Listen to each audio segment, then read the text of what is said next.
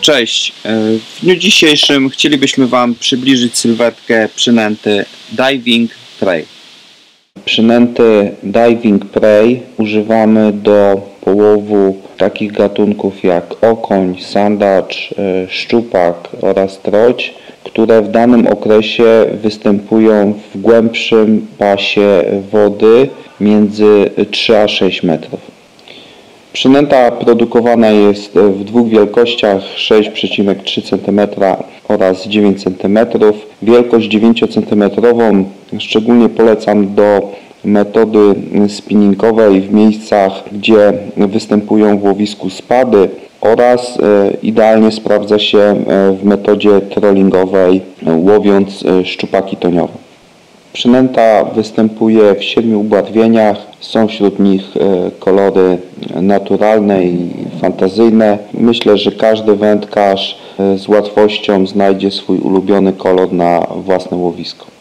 Wobbler e, posiada kilka bardzo istotnych cech. Bardzo wytrzymały i mocny ster, kółeczko łącznikowe ułatwiające podpinanie do przyponu, na woblerze uwypuklone zostały mm, pewne cechy takie jak e, linia boczna, e, płetwy skrzela oraz imitacja łuski. Wewnątrz woblera zamontowana e, została grzechotka. Dzięki temu wobler jest bardzo lotny i można nim wykonywać celne rzuty.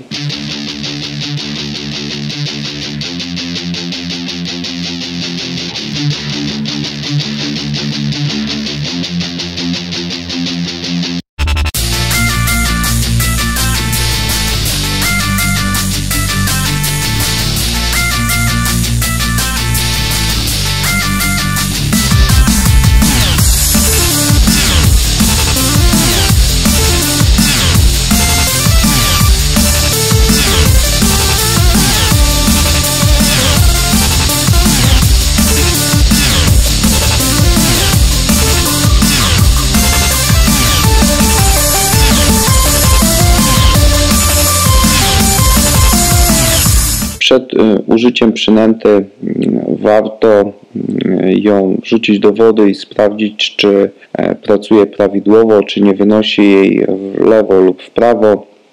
Jeśli z jakichś to powodów e, będziemy mieli taką sytuację, że bobler wynoszony jest e, na lewo, wówczas kółeczko na sterze należy przegiąć w kierunku prawym.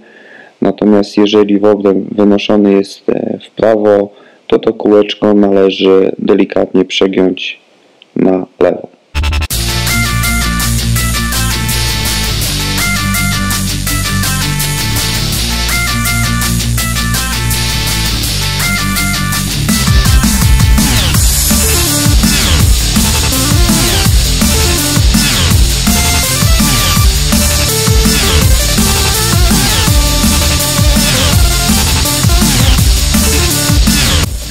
Podsumowując, e, Diving Prey e, to naprawdę dopracowana e, przynęta. Sprawdza się do łowienia praktycznie każdego drapieżnika na różnych łowiskach. Zachęcamy, warto ją mieć w swoim pudełku.